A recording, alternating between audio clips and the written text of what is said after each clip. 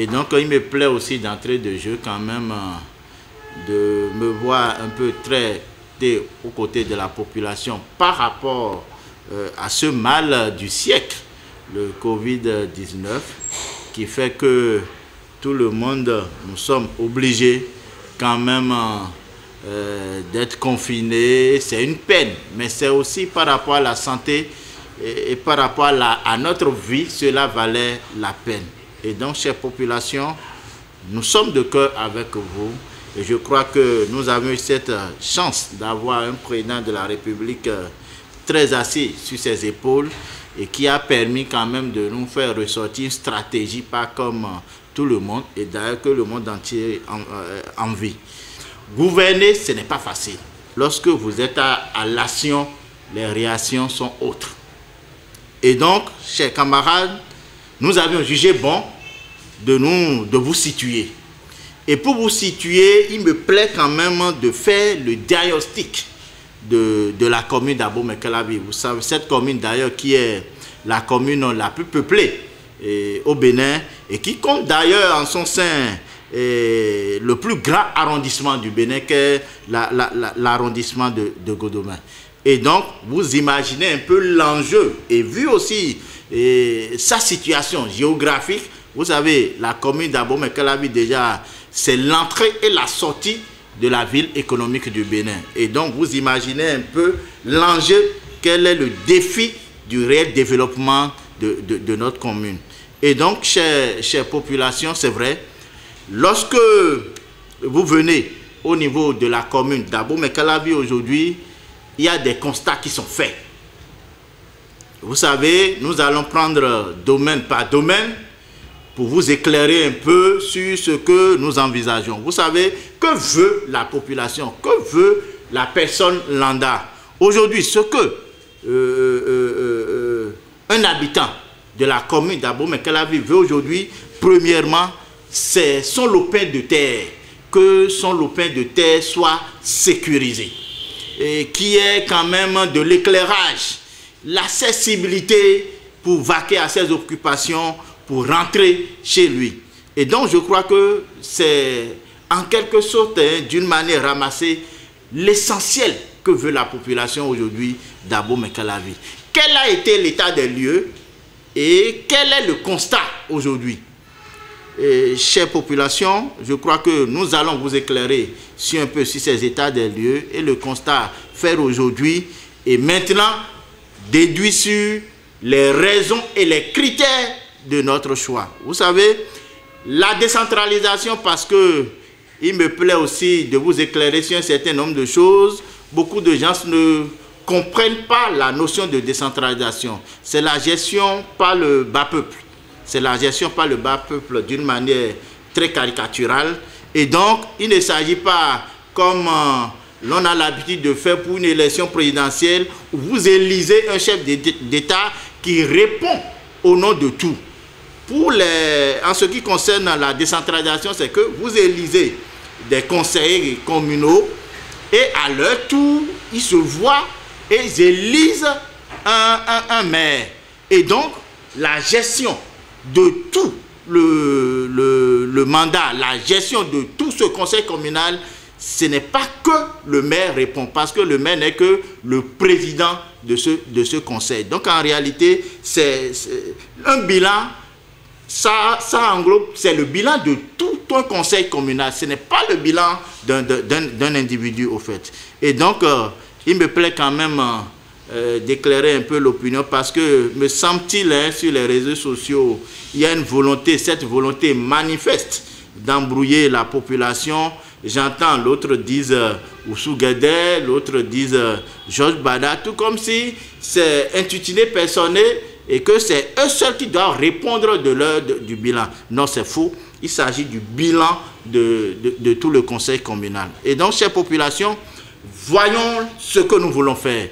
Si nous prenons eh, depuis la décentralisation, ce qui va beaucoup plus nous intéresser, c'est certainement les deux mandats, les deux mandats passés, les raisons, vous allez les découvrir eh, dans, les, dans les minutes à suivre. Vous savez, pour ces élections du 17 mai, Nous avons en liste au moins cinq partis politiques.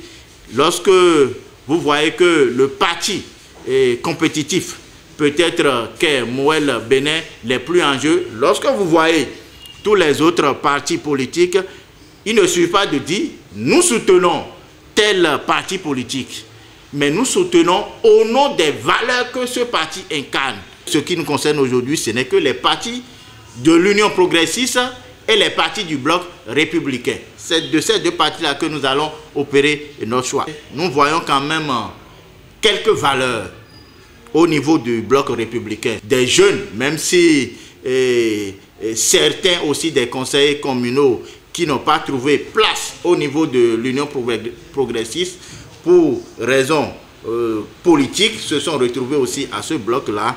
Il y a aussi que, il y a aussi des jeunes de valeurs qui sont maintenant de quelle position ils se retrouvent?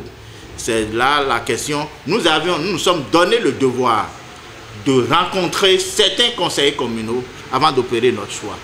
Des anciens comme aussi d'autres conseillers, enfin des, des, candidats, des nouveaux candidats sur la liste.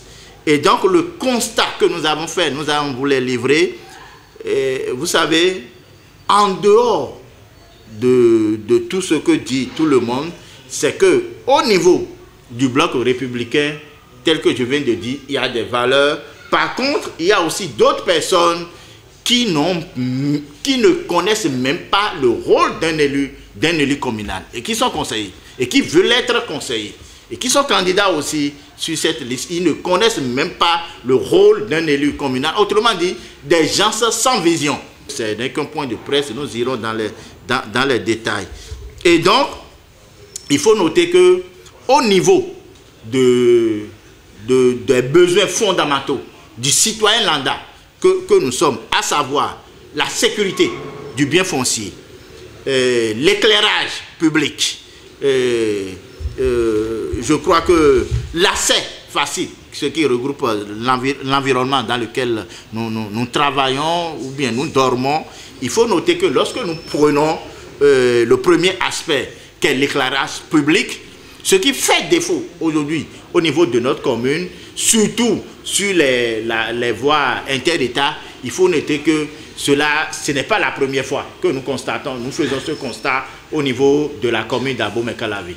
Ce n'est pas la première fois, puisque du, de la mandature passée aussi, ça a été le cas. Et je crois que nous avions en son temps, parce que pour beaucoup de gens, sont euh, beaucoup de gens euh, ont découvert quand même euh, la veille citoyenne à l'avènement des réseaux sociaux. Nous, particulièrement, ce n'est pas le cas pour nous. Nous y étions depuis la décentralisation. Et donc, nous avions fait avec toutes les mandatures depuis la décentralisation. Et donc, au niveau de l'éclairage public, cela remet, révèle du domaine de l'État central.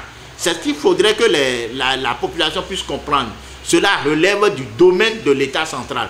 Et donc, ça ne serait pas trop bien de, de, quand même de mettre cela sur le dos d'un conseil communal plus et, au niveau de, de quelconque maire. Donc, je crois que par rapport à ça, le problème ne se pose pas. Si nous prenons l'accès facile, l'accès sur nos voies pour aller paisiblement dans nos maisons, cela, il faut noter à la population que ce que nous vivons aujourd'hui, l'inondation, l'impraticabilité des voies, cela, relève de la mauvaise urbanisation de notre commune.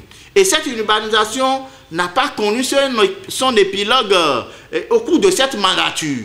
Il faut, le noter clairement, cette urbanisation, c'est depuis la décentralisation et surtout J'incite là-dessus au niveau de la mandature du maire Oussou.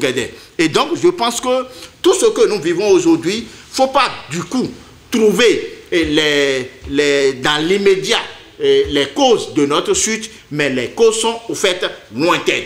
Et donc, vous vous imaginez l'inondation que nous connaissons aujourd'hui dans la commune d'Abomey-Calavi, cela est dû à la mauvaise urbanisation et c'est le lieu de, de rappeler D'ailleurs, nous allons en faire, nous allons faire dans, nos propositions tout à l'heure, après, bien évidemment, notre choix.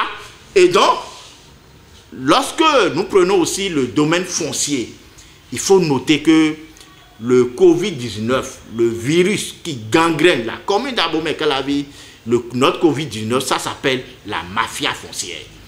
Et là, pour ceux-là qui nous connaissent, je crois que cette bataille, nous l'avons commencé depuis la décentralisation.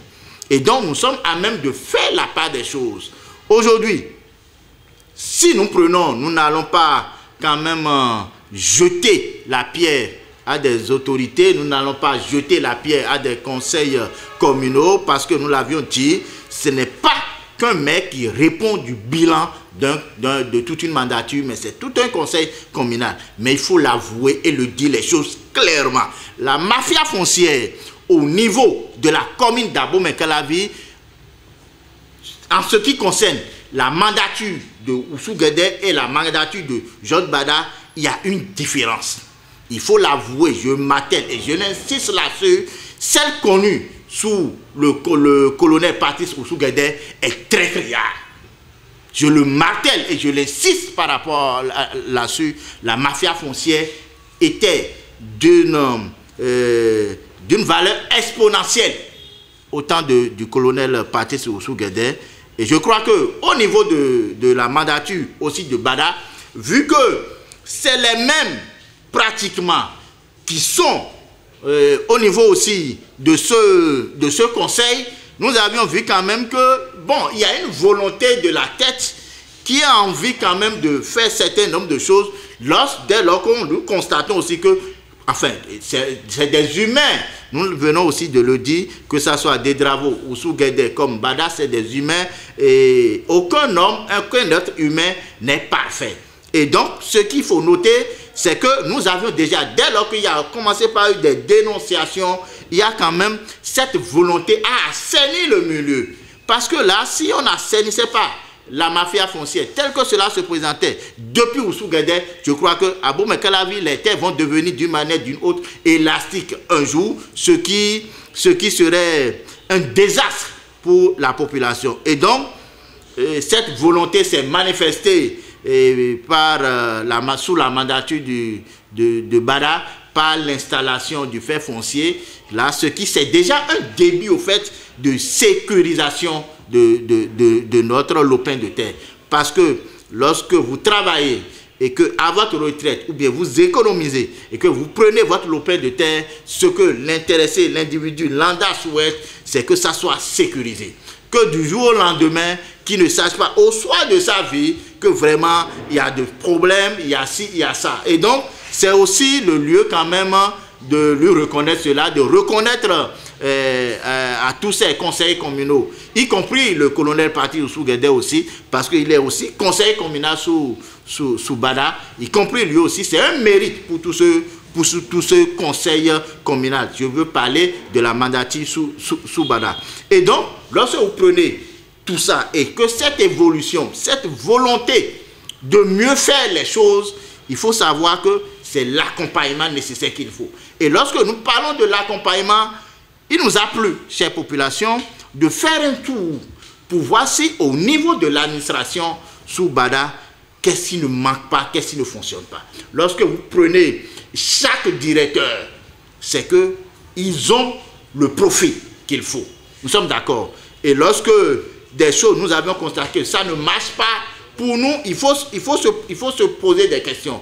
Certainement, n'est-ce pas, qu'il y a manque d'accompagnement ou bien il y a insuffisance du personnel. Donc, le conseil communal qui va s'installer, nous allons certainement, nous les exhortons à beaucoup plus mettre des moyens à la disposition de chaque direction pour que le travail soit fait. Ceci pour le bonheur de la population. Mais ce que nous constatons aujourd'hui, c'est que euh, au niveau de la gestion, au niveau des ressources humaines, au niveau de la qualité, est-ce qu'il y a le profit au niveau de l'administration? Sous Bada On sent que tout y va bien. Et lorsque vous, voyez tout ça, c'est vrai, nous voyons aussi que beaucoup de gens, comme moi aussi d'ailleurs, ce qui m'a amené à, à m'enquêter un peu sur comment est-ce que ça se passe, c'est que nous parlons beaucoup plus de la, de la gestion des ressources euh, financières. Et lorsque nous prenons ce domaine-là, c'est vrai que le débat s'émeut, chacun euh, tire le drap euh, tel il entend, nous voyons quand même que euh, au niveau de cette euh, gestion financière sous Bada, telle que nous connaissons, parce que notre première chance, c'est d'avoir un président de la République qui n'a pas d'amis. Lorsque ce n'est pas bon, il décrète que ce n'est pas bon et vous faites les frais. Et donc, nous avions constaté que, à l'instar des autres communes, dans les autres mairies, nous avions vu des directeurs qui ont été enfermés, des chefs de service qui ont été enfermés. Mais nous n'avions jamais appris ce cas au niveau de la commune d'Abomey-Calavi. Et donc cela voudrait dire que, que ce soit du domaine des fonds FADEC ou bien du domaine des fonds propres, la gestion, c'est vrai, on ne saurait parce que nous ne pouvons pas dire que tout est clean. Mais ce qui est certain, c'est que l'administration, par rapport au contrôle de toutes les structures mises en place par l'État central, c'est qu'on ne reproche rien à la commune d'Abo à la date d'aujourd'hui en ce qui concerne sa gestion financière. Et donc, ce n'est pas un citoyen lambda qui est mieux placé pour pouvoir critiquer la gestion financière, mais les structures étatiques assermentées dans le domaine qui peuvent également le faire.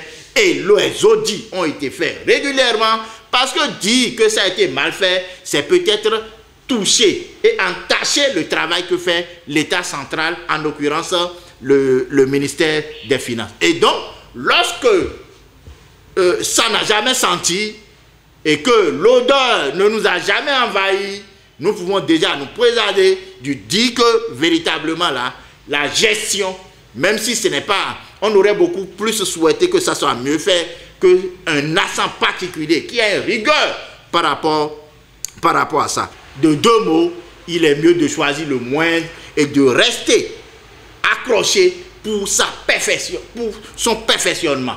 Et donc, chère population, lorsque nous engençons tout cela, et tenez-vous tranquille, lorsque ailleurs nous avions appris et que cela s'est révélé que l'arrondissement de Godomé, qui est l'arrondissement le plus peuplé, nous sommes d'accord, serait dirigé par un illettré au 21e siècle, nous pensons que cela ne vaut pas la peine.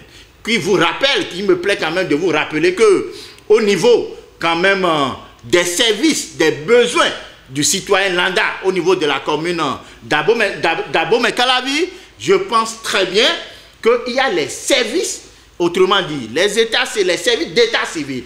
Vous voyez, sous le, le, conseil communal dirigé par le maire Bada, au niveau de ces service élémentaire qu'est l'état civil, aujourd'hui il y a une décentralisation de ces faits-là, si bien que c'est vrai, j'ai l'habitude de, le dire partout parce que c'est une fierté pour moi de dire aujourd'hui que avant, pour faire, pour prendre même une signature dans l'arrondissement de Godomain, il faut faire trois mois si vous avez des connaissances. Aujourd'hui, sans connaissance ou pas, vous attendez le temps d'uriner, c'est déjà prêt.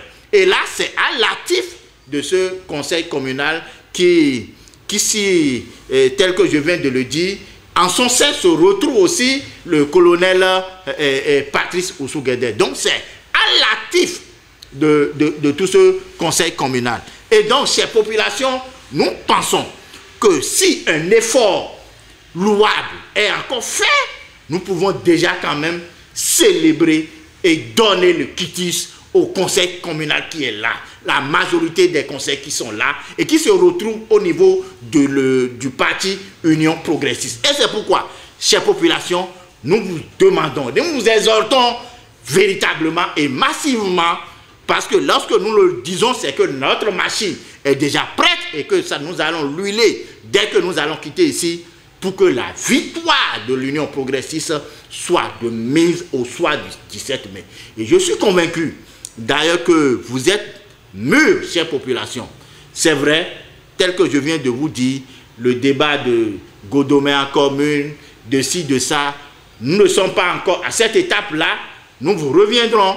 Nous allons discuter avec euh, euh, certains barons aussi de l'Union progressiste pour savoir aussi leur volonté, parce que c'est vrai, qu'on le veuille ou non, lorsque vous prenez des gens à Napaté, il y a cette volonté aujourd'hui de faire de Godomain une commune à part entière.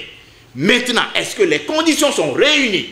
Je crois que c'est ensemble nous allons trouver une solution à toute cette question-là. Pour voir comment est-ce que nous allons solutionner tout ça. Pour que ce que nous voulons, il faut l'avouer, ça ne peut être qu'un vrai lobby. Ça ne peut pas être une bataille individuelle.